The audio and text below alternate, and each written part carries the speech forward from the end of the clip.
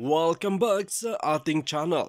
Tila naging mainit nga na usapin sa mundo ng social media na talagang meron ngang sindikato sa loob ng gobyerno. Ang nakakalungkot pa ay tila halos karamihan na na nakapwesto sa gobyerno ay ang mga korap at mga sindikato. Ayon kay Miss Mahardika, dito nga natin makikita ang pinagkaiba nga ng paglilingkod ni dating President Rodrigo Duterte na tila sa anim na taon puro na lang pamumura ang kanyang ginagawa sa kanyang bibig ngunit makikita natin sa kanyang gawain na tila ginagawa niya ang kanyang tungkulin na maayos ang bansang Pilipinas na paglingkuran ang taong bayan. Tila sabi nga ng maraming netizen ngayon sa administrasyon ng mga Marcos tila ibang-iba dahil parang mas malala pa ito sa mga Aquino. Banat pa nga ng maraming netizen kung tinatamad na si President Bongbong Marcos, mag-resign na lang siya o kaya pala hindi niya napanalo yung laban niya bilang Vice President noong time ni former President Rodrigo Duterte kasi nga wala siyang willingness, wala siyang eagerness na mapalano ang laban sa kabila ng napakaraming ebidensyang dokumento. At alam naman ng kanyang lawyer na si Vic Rodriguez ang kanyang mga galaw. So sa lahat, mas maraming alam si Vic Rodriguez sa attitude ni President Bongbong Marcos kesa sa mga nakapaligid at nagmamasid sa kanya. Maigi pa kumilos na ang taong bayan kesa umusad pa ang oras na lalong walang naririsolbang problema kung ang 31 milyon na nagluluklok kay President Bongbong Marcos ay mas marami pa bilang ang magpapababa sa kanyang kinaluklukan kung ang taong bayan ang nagluklok para umangat ang kanilang pag-asa na bumangon. Muli, pero nasaan yung babangon muli kung lahat ng presyo ng mga bilihin ay hindi makontrol? Ano pa ang pag-asa kung ang kasundaluhan at hustisya ng bayan ay nagkakagulo at nagkakaroon ng hindi makatarungang desisyon, saan pa ang pag-asang hihingan ng katahimikan at katarungan ang mamamayan? Ito yung words na pinakailangan para kay President Bongbong Marcos. Nasaan ang Pangulo? Hoy gising na, bangon. Sagipin ang inang bayan.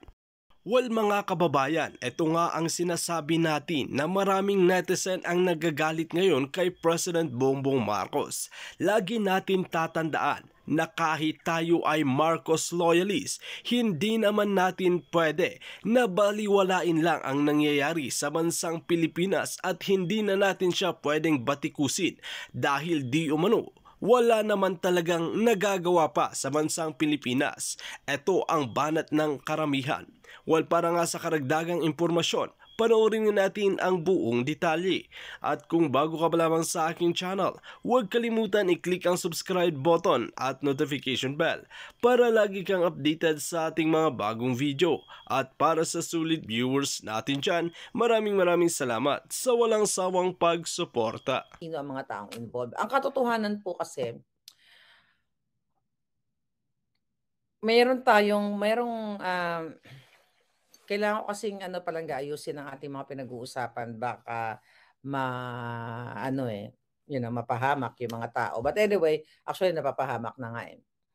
Hindi ba kapag nung, nung campaign sinasabi ng ating Pangulong Marcos na ang pangarap ko ay pangarap mo. Ano ba yung pangarap ko ay pangarap mo? Ibig sabihin, like ako, ano ba pangarap ko? Pangarap ko na magkaroon ng mabuti at maayos at masaganang Pilipinas. When you say gusto mong pangarap mo, pangarap ko ng kabutihan, lahat ng aspeto in terms of pagbangon muli, eh doon lahat yon peace and order, droga, food security, national security, uh, ah, OFW, lahat kayo kasama na, lahat yun na gusto mong maibangon muli. Pero Ah, itong pagpasok na pagpasok pa lang natin pangulo 'di ba nagkaroon ng uh, sugar uh, fiasco.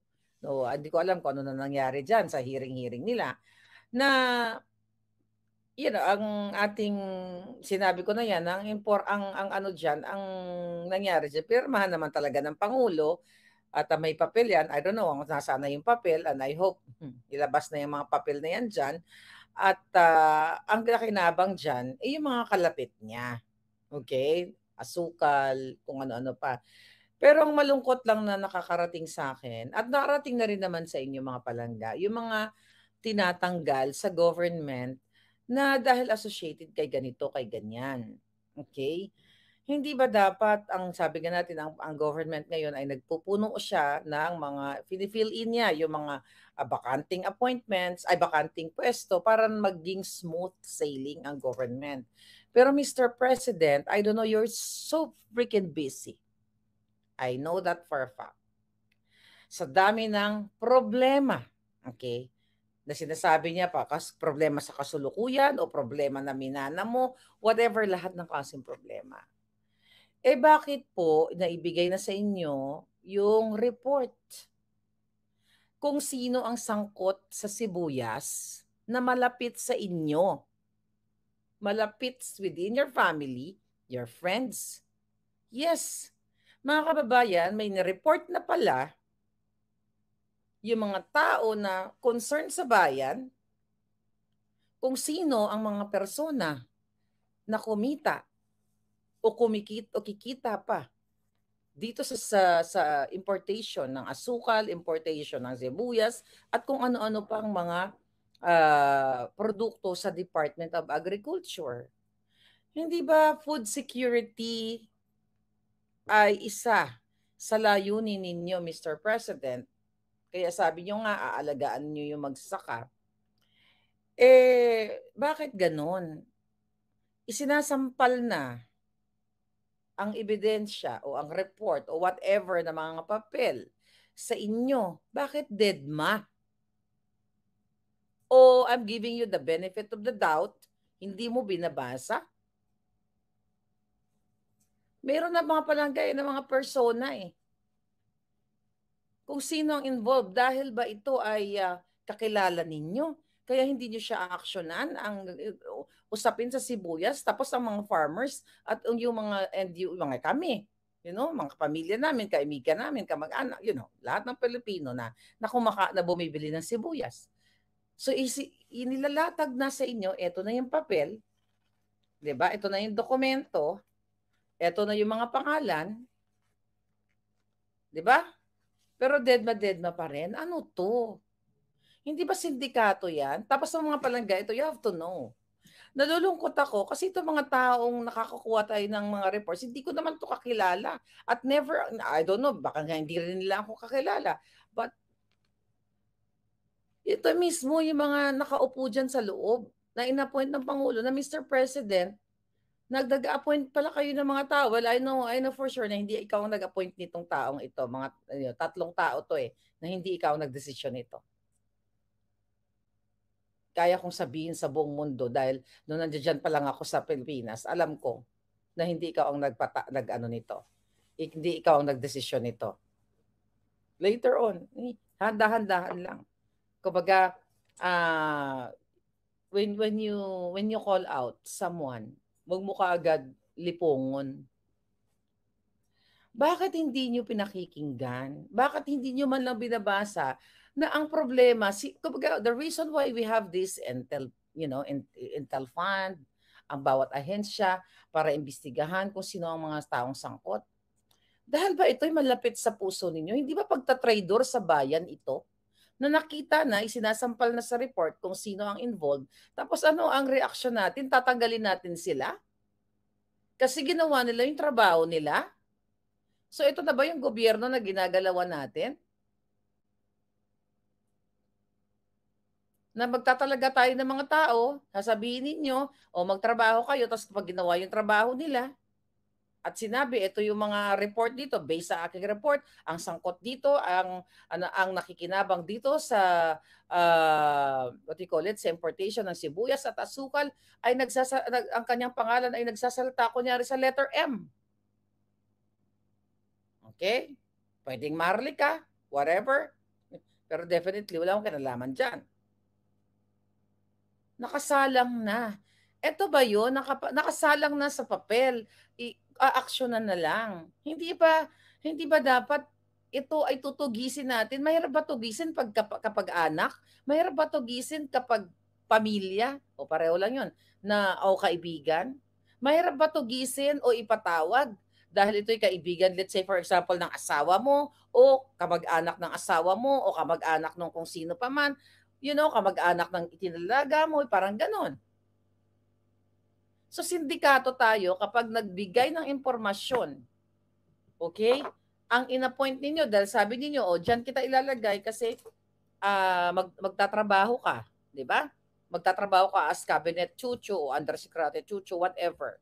Tapos let's say kunyari ako, kaya pala ang hirap kunyari ako nasa gobyerno ko, o ikaw nandiyan ka, Department of ano ka, Department of Alin, Alindog.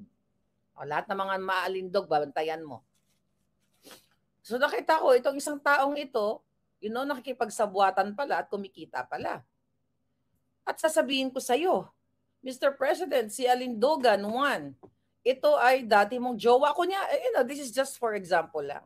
Ito ay nakikipagsabuatan, ganito, ganyan-ganyan, siya ay kumikita. Tapos tatanggalin ako dahil nakita ko, dahil ginawa ko yung trabaho ko, tatanggalin mo ako, the rest of my gang, the rest of my people. Ganito ba? Eh di sindikato tayo. What's the point na maglalagay tayo ng mga mga tao diyan sa mga well, mga secretaries, mga appointees diyan sa bawat departamento na kapag sila ginawa nila yung trabaho nila ay tatanggalin lang pala siya.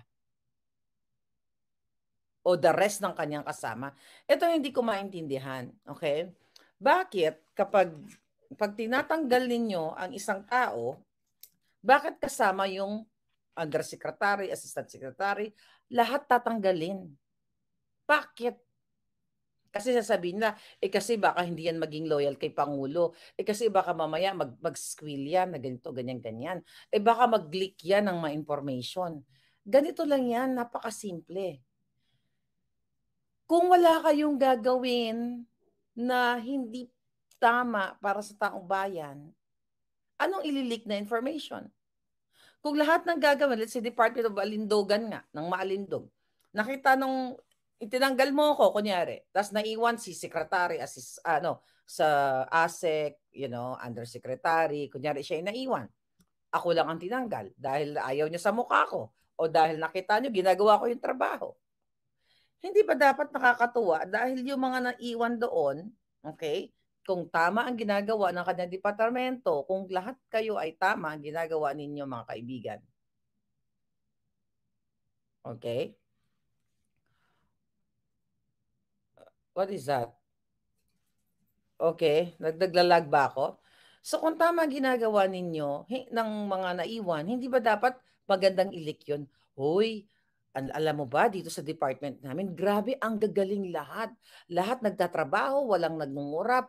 Alam niyo dito nagsisimula pa lang kami, alas 8 pa lang. Pag-click pa lang ng bandy clock, 8:01 pa lang o 8 pa lang or 5 minutes before 8, ang mga taong gobyerno ay nagta-time in na at wala silang ginawa kundi talagang magtrabaho ng magtrabaho para sa bayan. Yung iba nga, hindi nga sila nagbe-break time kasi tinatapos na yung trabaho nila kasi gusto nilang magkaroon ng pagbangon muli. Kasi gusto nila na ang mga sibuyas ay magmura na. Hinuhuli namin yung mga taong involved dito. Hindi ba dapat ganyan? Pero bakit tinatanggal lahat? Bakit tatanggalin? Kasi ayaw nyo makita yung mga bulok o yung mga anomalya na gagawin ng susunod na ilalagay ninyo kung sino man yung tarpulano na yan. Hindi ba ganon? Kasi anong kinatatakot mo? Kung tatanggalin mo ako, kunyari, isang sekretary, ba't tatanggalin mo yung iba? Kasi, ang sabi nila, dapat ang nandiyan ay loyal to the president because you serve to the pleasure of the president. But not, bakit hindi to the pleasure of Filipino people? Bakit always to the pleasure of the president? When you say pleasure to the president, o pleasure to whoever, so kahit na sindikato yung mga nasa loob, kahit sila ay kumikita sa pag-import ng sibuyas, may nagkaroon sila ng agent fee at kung ano mga jutang gini ng fee. You just ignore it? Because ay hindi natin yun pwedeng sabihin. Kasi ayaw ng presidente yan. Kasi we have to serve the president. We have to kailangan nasa ano nasa ang ang, ang mga ginagawa dito yung mga anomalya dito eh you know natutuwa yung presidente sa ganun. Kaya okay lang wag natin tanggalin kasi kaibigan niya yan. So the moment na nagkuku nag, nag, nag, nangungumisyon o whatever kasi nakaka ang, ang sarap ng feeling ng presidente natin kasi ito mga kaibigan niya, mga kaklase niya, ito to, parang si Noynoy, di ba? Mga kamag-anak niya, nag-enjoy siya kung ano yung ginagawa nilang anomalya. Really? So sindikato government tayo, ganun ba yun? Ano pinaglalaban natin dito? Six months pa lang o magsi seven months na. Nagmamadali na kayong kumita. Pero alam nyo, nakakalungkot. At saka bakit ganun? Mr. President, you have to know, I don't know kung nanonood ka pa, hindi mo nga nababasa yung papel. Bakit hindi nyo kinakausap yung mga taong itinalaga nyo? At bakit itong mga asungot, itong mga yaya mo, na damang kakilala ko, mga yaya mo, mga taga-timpla mo ng kape dati, na itinalaga mong mga undersecretary, eh bastos pa sa pinakabastos makipag-usap.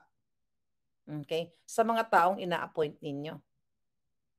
Sa bagay, ano naman na-expect namin dito sa mga bukangkang, dito sa mga kasinlaki na ng jelepante na mga lumalamo ng pera, ng pagkain dyan, sa Malacanang, yung mga tao ninyo, nung pinutol nila ang communication within the bloggers and the OFW. Ano naman expect namin? Kung kaya niyong putulin, edi yung pag-block ninyo sa mga inupo ninyong tao, hindi nyo kinakausap, eh, ibig sabihin may pattern. So alam ko na kung sino ang author ng pagbablock ng mga taong nakatulong sa inyo, especially yung mga OFW na nilipon ninyo during the uh, election time campaign. Bakit hindi kausapin? Itong mga taong akala na, na nilagay ninyo dyan, ano ba ang problema? Bakit hindi nyo pansinin yung mga pangalan na mga sinasabi nila sa kanilang mga reports na ang kakilala nyo mismo, kainuman, kasama sa dinner, ang kumikita, sila.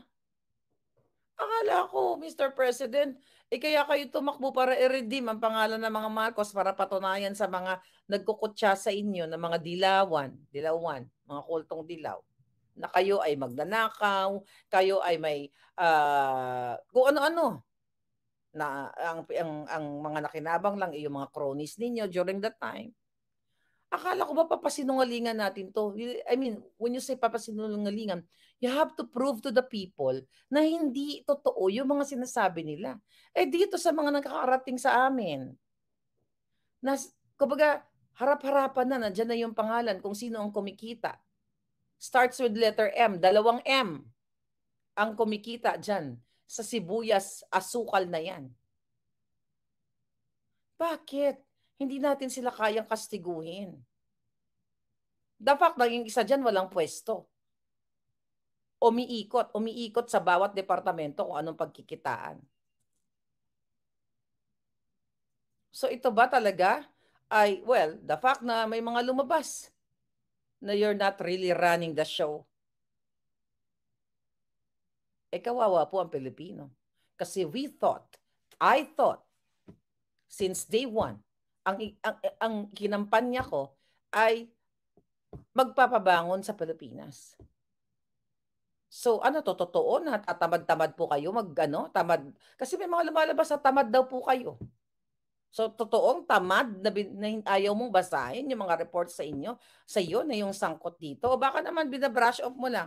O ito report sa Department of Agriculture, kunyari. Well, ikaw ang head Department of Tourism, Department of Chucho. Ano to? O eh, bahala ka na. Basahin mo na yan. I'm so tired. tired. Sick and tired. Ganon, mga palangga.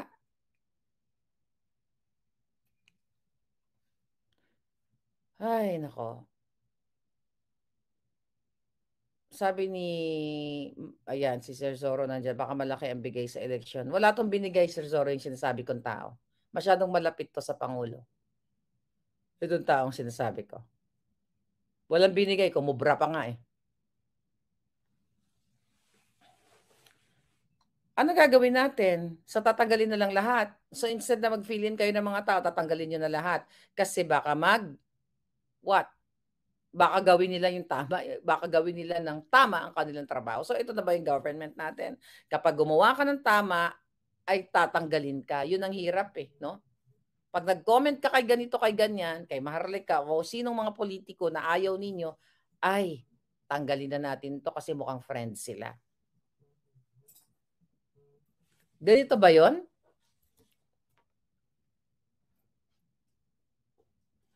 Sabi ni Carolina Shannon, parang mas marami yata ang problema kaysa yung inaasahang pagbabago. Wala nang Marcos in the future. Wala na, na talagang Marcos in the future kung pagpapatuloy ito. Ano bagong mukha, bagong Pilipinas, bagong mukha kinanta-kanta pa na ninyo yun? Napakalaki ng problema natin. Dito sa smuggling pa lang. Bakit hindi natapusin to? Alam mo, well, in the past government, mga nakaraan, yun, hindi rin mataga masolve-solve ito. Laging may mga players. Pero ito inihain na sa inyo kung sino ang involved. Mr. President, nagsisimula nga sa letter M. Hindi mo ba kilala yon? O iba brush off na lang natin? Kasi it's they're so close to you. My God. Ganito ba talaga tayo? Puro na lang tayo boka-boka sa tao. Ang pangarap nyo ay pangarap ko. 'Di ba? May umaga, da da da da, ganon. Anong umagang kay ganda? Kailan nagkaroon ng umagang kay ganda? Eh dito pa lang sa Cebu sa Asukal, pagpasok nyo pa lang, ang bilis nila, gusto na kagad nilang kumita. Eh di ginagago natin yung Pilipino.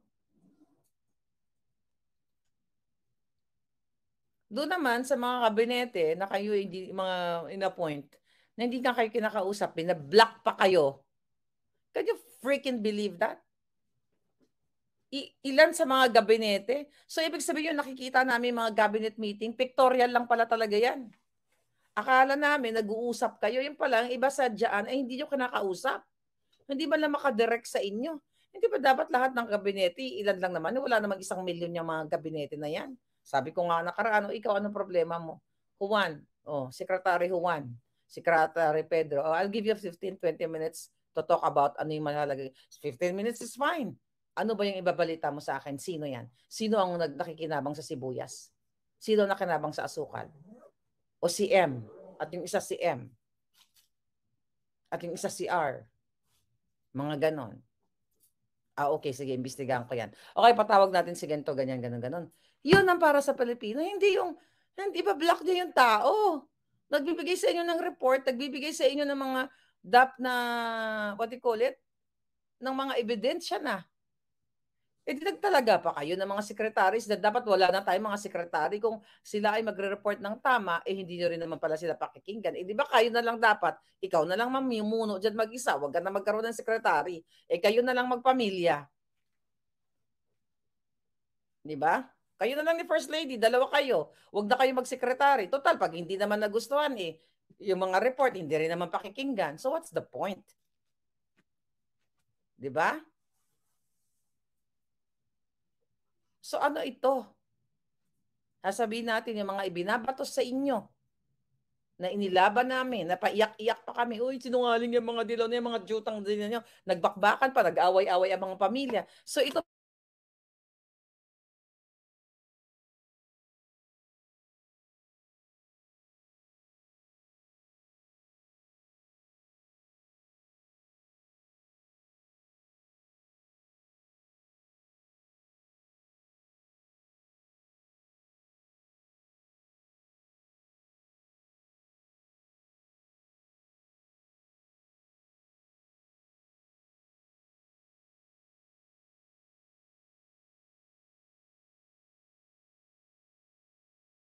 Okay, pasensya na palangga. Mahina ang uh, signal ko sa New York. Nasa rooftop ako. Okay. So, ganon.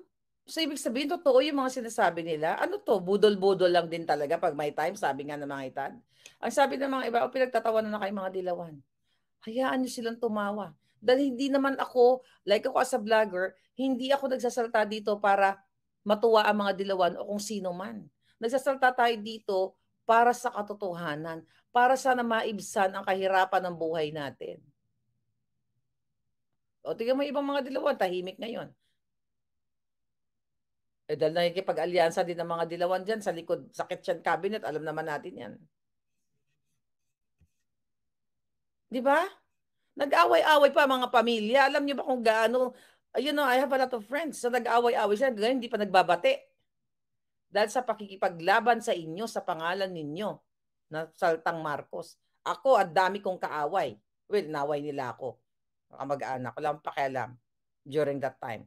The moment na inopen ko yung bunganga ko toong 20, 2015, I'm telling you, yung mga dilawan kong mga kamag-anak ay kung ano-ano ang pinagsasabi. At wala akong pakialam dahil naniniwala ako na kapag naupo kayo, eh magiging maayos ang Pilipinas at i-redeem nyo yung pangalan ninyo sa, you know, dahil sinasabi natin, kasi kasinungalingan yung mga sinasabi ng mga dilawan eh. O yung mga anti-Marcos. Eh bakit ito? Nasa bungang, nasa mukha nyo na yung ebidensya. Nasa mukha nyo na yung report. Eh bakit instead na pagtutunan natin yung mga report, eh bakit tatanggalin natin yung mga taong naggagawa ng kanilang trabaho? Sabi ni Alvin, Alvin Jersoa, dami no, nag-unfriend sa akin because I criticized BBM.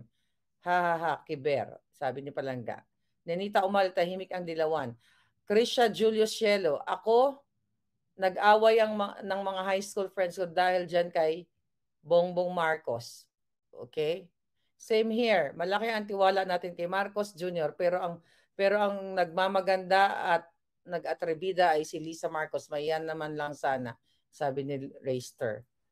Nagsisi ako kung bakit bumoto kay Marcos kasi yung asawa dil, kasi yung asawa dilawan original si Marcos walang bayag sabi ni Charina Nabia Mr. President I hope nababasa niyo ito It pains me so much. But kung yan ang katotohanan, then deal with it. Mga palangga, ito'y direct information. Mr. President, bakit hindi nyo pinapansin yung mga taong inupo ninyo? Bakit hindi sila bigyan ng time? At least 15 minutes to explain themselves. Eh, nilagay nyo sila dyan eh. May tiwala kayo dun sa inilagay ninyo. Tapos nung nag-report sa inyo na ito yung intelligence, ito yung mga taong kumita dahil malapit sa inyo, tatanggalin nyo? Ay, buwa ka ng ina. Paano ka magiging ano pa? 'Di ba? Paano ka susuporta sa taong akala mo, 'di ba, na hindi ka na nga natulog? Parang kulang na lang gawin mong santo, tapos ito lang pala yon. Ay, hindi ako bulag na supporter. Balangga, unang-una hindi ako nakinabang sa kanila. At, you know, hindi ako nang hingi. Kaya I can say kung ano yung mga katotohanan dito. Yung mga yaya mo, Mr. President, na-meet ko na lahat ng mga yaya mo dyan na ginawa mong undersecretary. Mga buwakan ng inan nyo, kayo. Lahat kayo mga yaya na tiwali. Even I met you, walang pakialam sa inyo. Ano, six years lang tayo. Ganyan. Huwag na tayo pansinin si BBM. Yung mga tiwali, huwag na natin pansin kasi six years lang tayo. Di ba? Ito na yung pagkakataon natin. Anong pagkakataon sa pangawat? Pangakataon sa pagkukomisyon? Ganon. I'm not one of you guys.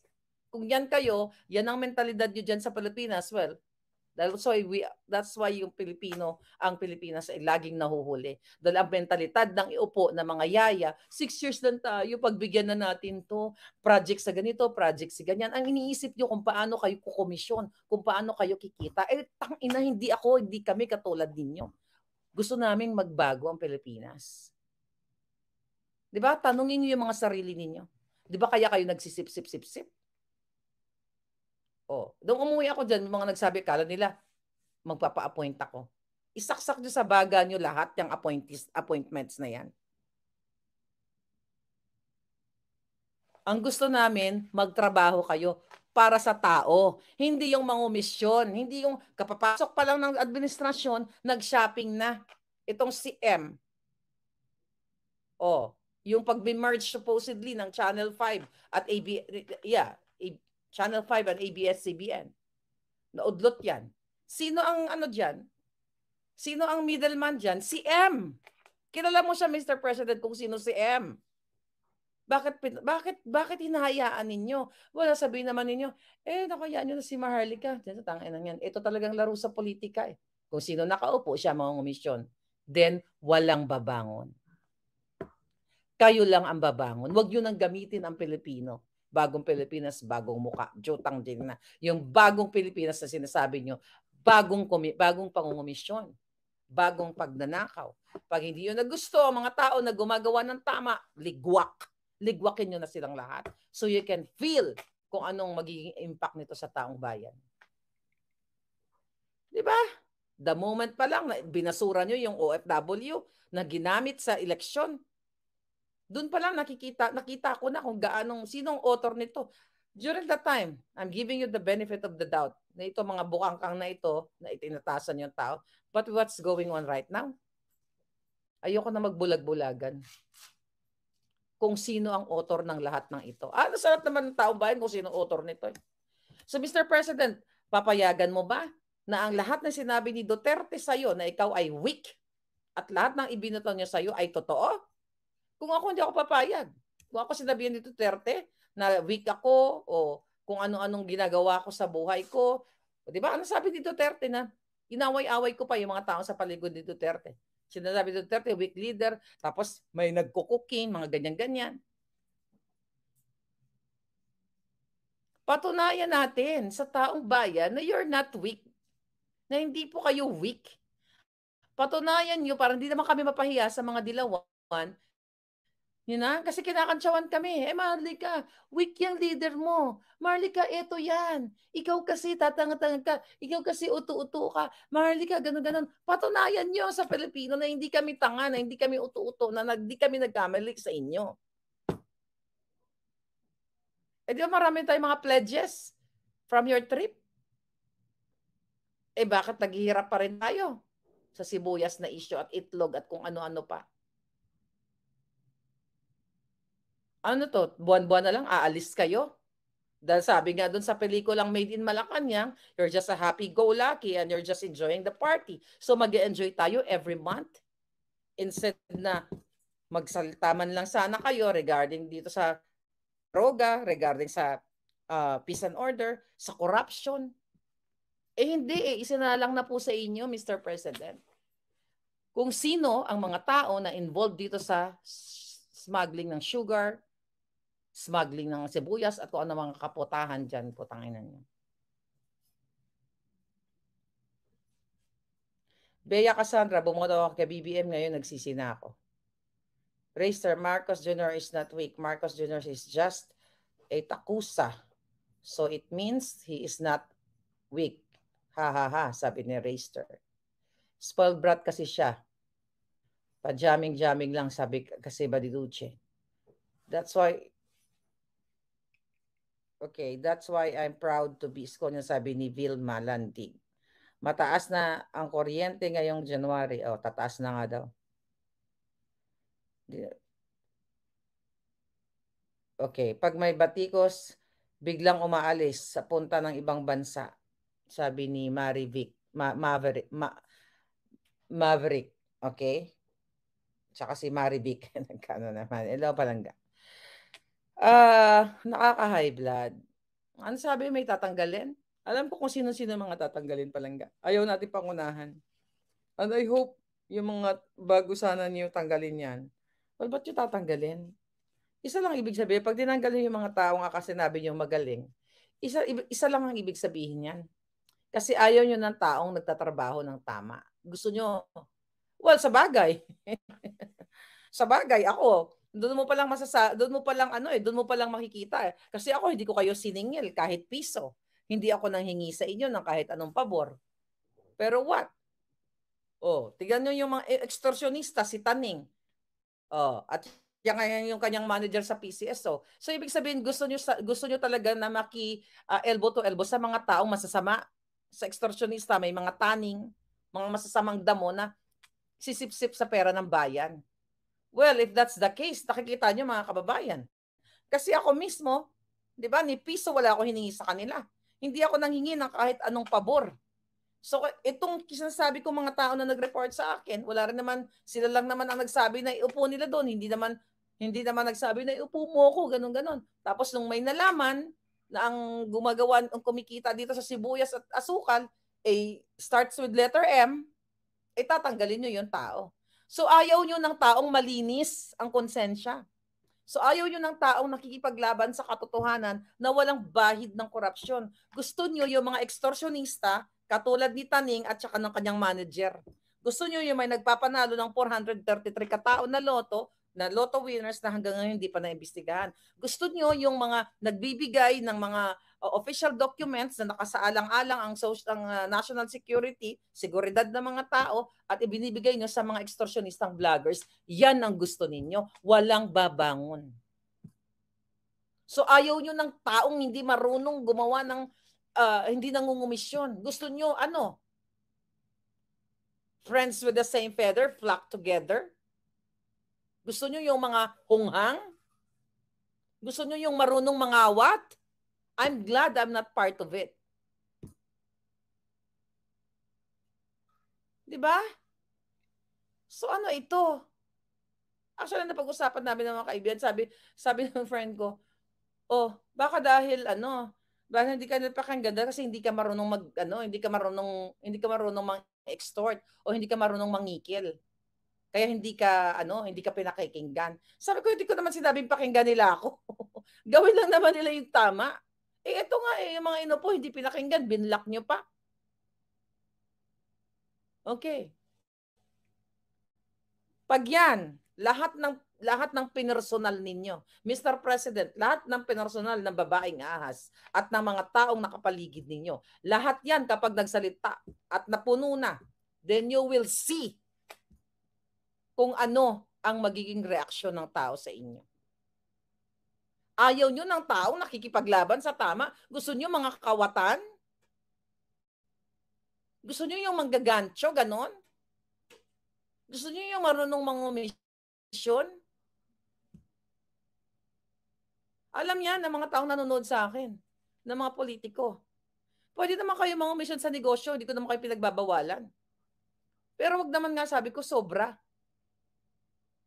Kaya hindi talaga ako pwede sa gobyerno. Kasi, pag nandiyan ako, talagang pagmumurahin ko kayong lahat. Baka makontempt ako dyan. Di ba? Kaya yun ang masakit. Sabi ko, akala ko, you know, pag ako ay naging, impl- you know, as a vlogger, ito I will tell you. I will tell you something. There, sabi ko, kapag, kapag ako nagsalita, I'm not gonna accept any single cent from these people kasi gusto ko maging modelo na as a vlogger, nakakapagsalita ako ng may freedom ako, may free will ako to speak up kasi hindi ako mangingiming sabihan na ikaw, ganito ka, ganyan ka kasi hindi ako nakinabang sa iyo. 'Di ba? Kaya ako never tumanggap, okay, ng suhol sa kahit kanino. Dahil sabi ko, ang hirap magsalita na sinuhulan ka. Tapos sasabihin mo malinis ka o hindi ka nakatanggap ng suhol. 'Di ba? Kaya nga may mga nag-offer sa akin na papamasehian ako para gustong during the inauguration, makiride lang para masama din sa inauguration. Mami, babamasehian kita, bibigyan kita ng kung ano-ano. I declined all of them. Why? Kasi unang-una, ayokong gamitin sa akin yon. Unang-una pa rin, kasi wala na akong magiging, uh, what do you call it, nakakahiya na sa sarili mo. Kinakalaban mo yung sarili mo eh. Na magsasalta ka na hindi ka bayad, yung pala bayad ka. I'm not one of you. Kung yan ang laro nyo sa Pilipinas, then hindi babangon ang Pilipinas. Lulubog ang Pilipinas. Hindi ba dapat kayo dyan na nakaupo instead na nilalamon nyo ang masasarap na lechon? Kaya kayo lumubo na kasinlaki na ng mga kasinlaki na ng mundo ang mga ano nyo. Hindi ba dapat sabi ko, pag tungtong pa lang ng alas 8 kung ano man ang oras ng trabaho niyo nagsa-start? Lahat kayo magtrabaho, hindi kayo bukang-bukang kang lang kayo dyan. Yang undersecretary mo na bukang kang, Mr. President, saan mo dinampot yan? Ikulang na lang yung pangalan mo ilagay sa kipay niya. You want to see the video? Not right now. But I will post this. I will show it to you. Jutang gininan nyo. Ito ba? Kagalang-galang ba to? Pakita ko lang. Para masabi niyo, hindi ko bibigay lahat ng ebidensya ko sa inyo, tangina. Padadamahin ko kayo. Ito. Sana ba yung bukangkang na yung hitad na yon? Ito. Hindi ko pa-play. But I will show it to you. No, just ano lang. Uh, tignan natin to. Tignan natin to. O, ito. O, ito, bukangkang. Alam mo to? O, ito ha. O, yan. Ayan, screenshot ko lang. Ayan ha. O, ayan ha. Ay, nieta. Layo natin. Nakita nyo yan? Yan, bukangkang. Ayan ka, bukangkang, oh. Nasa yati kayo. Dito ba yan sa New York? Nagkangkangan ba kayo dito? Pero ng bayan ba to? Ito ginawa mo, oh. Eh, layo ko lang to. Nakasulat po yan, BBM, oh. Naka, ano lang ako, green screen, eh. Ayan. Hindi ko pa-play yan. Pero kaya ko ilabas to sa Twitter. Ito ba? Ano ginawa nyo dito sa New York? May nag-send sa akin, nasa yati kayo, pera ba to ng bayan? Gumiling-giling ang undersecretary ng Office of the Press na nadjontis, na sino naka-jontis sa kanya? Ayan ang pangalan ni BBM. Tapos naka-pek, ano yan, naka-baiting suit or whatever. Gumigiling-giling. Kang kapal ng muka. Saan to? Pinapaimbestigahan ko pa to sa ano, kakilala ko kung saan naganap to. Kasi yung captain, mukhang Amerikano, nakatalikod eh. Oh, eto ba, Mr. President, ang inuupo nyo? Ano to? Pakangkang? Imahe? Bagong Pilipinas, bagong mukha? Bumikangkang dito sa uh, stock exchange? Ito ba ang desente? Oh, play natin ng konti. Konti lang. Dali lang. Konti lang para makita niyo yung giling. Dali lang ha. Layo natin ng konti. Ayan. Ayan oh, nakita niyo yan? Oh. Nakita niyo yan? Patikim lang yon mga palangga. Patikim lang. Yan ang inupo mo, Mr. President. Inupo nyo. Anong reputasyon meron yung Office of the Press o PCO Presidential Communications? Nakita niyo yung gumiling? Kulang na lang kangkangin yung mga ano doon? Yon ang totoong hitad, sabi ni Rai. Nakita niyo ba? Akala niyo hindi ko kayang ilabas yun. Pati mga audio. Bakit po natatakot sa inyo? Dapat kayo ang matatakot sa taong bayan. Nangako tayo ibangon ng Pilipinas. So ako as a Marcos supporter, titiisin ko na lang sa dibdib ko. Ay hindi kasi maawain ako ng dilawan. You know, pag inaway ako ng mga dilaw, nakakahiya naman. Sumigaw-sigaw pa ako. Manong BBM, I love you. Pagawa pa kami ng standy dito sa LA. Tangina, nagsi-absent pa kami para sa pagbangon muli, para sa Pilipinas. Dahil gusto namin one day, pag nag-retire kami, magkaroon ng bagong Pilipinas. Eto, iniupo mo, bumubukang kang. At yung si Bukangkang, mismo ang mensahe ng First Lady, nilik niya. Ipi-play ko lahat yan. Ay, yung mga naghahamon naman sa akin yan, puro ka ngaw-ngaw, wala kang ebidensya. Watch me, baby. Watch me, darling. You want the truth? I will, you know, you have to, ano, you have to see itong mga truth na itong lahat na ito. In due time. Okay, yes, Krisha Julius. In due time. Not right now. In due time, pag nakumpile na lahat ng kalaswaan, ng kabukangkangan, na mga tao inupo nyo, yung mga tao nagtatrabaho na nagsasabi sa inyo, Mr. President, na ito si ganito, kumita sa sibuyas, kumita sa bigas, kumita sa asukal, tatanggalin. Pero ito, ang undersecretary mong bumikaka sa yate at bumikaka dito sa New York puring-puri, malinis na, na ano, na gobyerno. Tapos nililik pa yung conversation ng wife mo, ng First Lady. Yung conversation ni Bukangkang at ni First Lady, nilik pa niya. And it's good. Sabi na sa hotel, may kaaway ako. Sorry mga palangga. I'm very emotional. Hindi ko kasi pwede tago yung nararamdaman ko. Hindi ako plastic na tao. Hindi ako pwede sabihin maganda ka pero mukha kang ewan. Hindi ko sasabihin mabuti ang ginagawa mo kahit masama ang ginagawa mo. Nakita niyo? Nakita niyo ba yung mga gumulong? Yung gumulong, gumiling? Yung subscriber here, CCTV. Ah. Josie Mariberay, ah, excited kayo dun sa gumiling, ano? Nasa sila. So, ibig sabihin, Amerikano yung captain eh. Mga Amerikano, eh, iniimbestigahan ko pa, ano, kakasend lang sa akin yan, actually, couple of days ago. Sabi ko, so ito yung ginawa nyo sa New York at the expense of Philippine taxpayers, Mr. President. Yung behind the scene.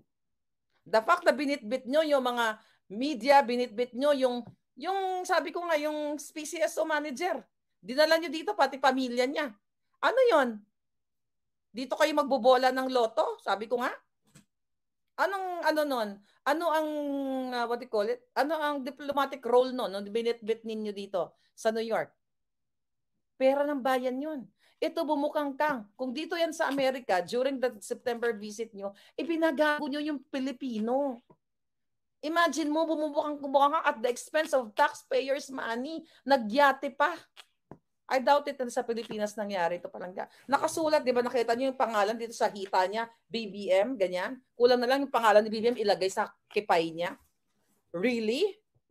Tapos sasabihin ng mga hita dyan, Marlika, sabi niya, ano, may, may, may nag-message sa akin. No? Sabi niya, kaya ka ganyan kasi may gusto ka kay BBM. Excuse me. Pangasyo nga. May gusto kay BBM. Eh, ito, halos ilagay sa kipay labo niya yung pangalan ni BBM. Alam mo kung anong gusto ko kay BBM? Ibangon niya yung Pilipinas. Ang gusto ko kay BBM, parusahan itong mga kumikita sa sibuyas at bawang. Yan ang gusto ko sa kanya. Wala akong interes sa itlog niya, sa betlog niya. Yung mga betlog na yun, nagmahalan.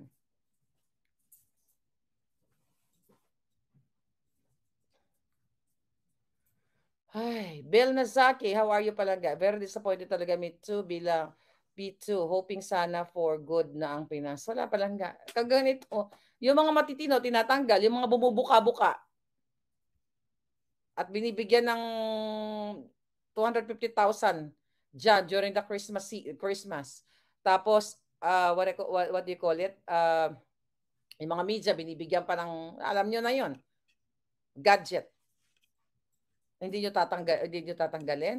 O yung mga ano diyan, yung mga ginagamit okay ng ahas at ginagamit nyo to attack me, to discredit me. Ay ito. Si ano bukangkang mabait. Nakagalang-galang si Bukangkang. Pag nakita niyo yung video, makikita niyo yung sinasabi niyo mabait at kagalang-galang. My God, idu, baka maluwa kayo sa kabiga-igatan. Baka masuka kayo. Ito yung dapat inuupo umiikot-ikot, oh, bukang kang, ano ka ngayon? May nagtraidor sa kasama mo sa yate. O, di ba? Kayo-kayo nagtatraidoran, magsabong kayo. Sino ang nag-leak ng video sa akin? Yung galit din sa'yo sa ginagawa mo dyan. Paisip ka to, sino pa naka-jonty sa'yo? Yan ang malaking question mark. Di ba? Dami yung issue.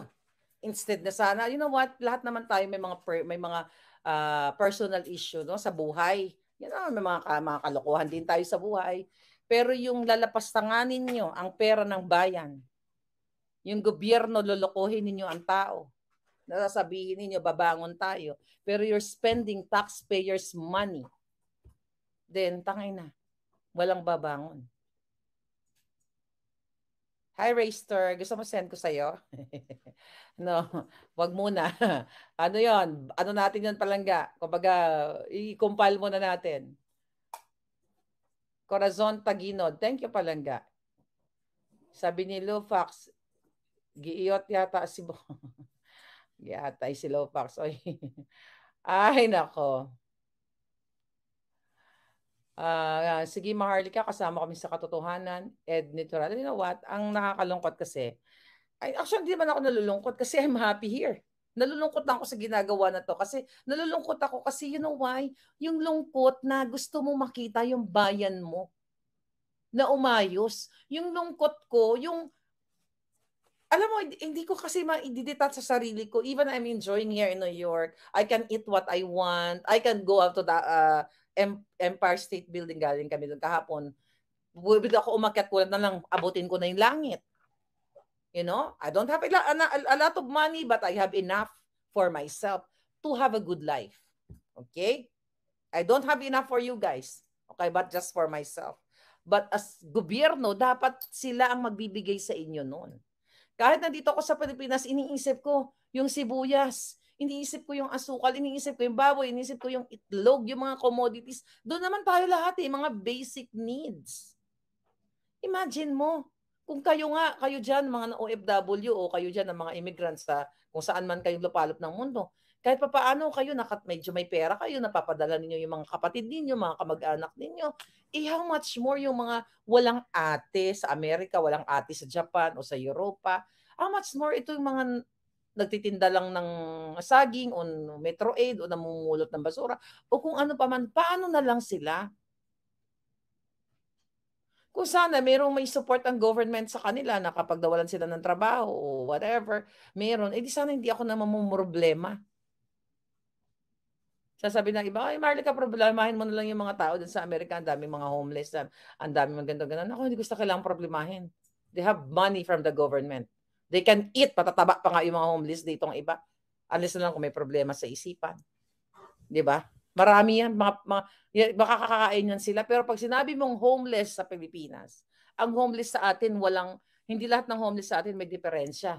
Yung homeless na tinatawag sa atin, dahil dala ng kahirapan walang gobyernong tutulong sa kanila na mag-aalalay sa kanila. Pag lumapit pa yan sila, sisigaw-sigawan pa, singhal-singhalan pa. O ano yan? Ano yan? Anong kailangan mo? Pag gutay-gutay ang damit, babasusin pa. Alam niyo yan, yan ang laro ninyo.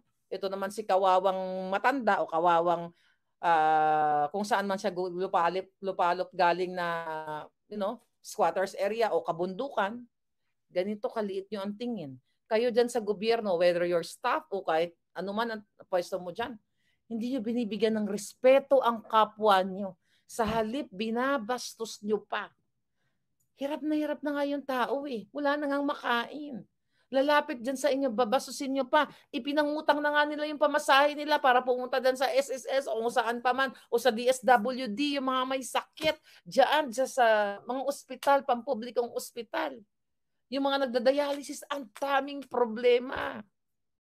Wal mga kababayan, dito nga natin makikita ang pinagkaiba talaga sa paglilingkod ni dating President na si President Rodrigo Duterte kaysa kay President Bongbong Marcos. Banat nga ng maraming netizen, hindi kasi di umano nang galing si President Bongbong Marcos sa mahihirap kaya tila sa mayayaman ito nakakapit at tila mayayaman pa ang pinapaangat.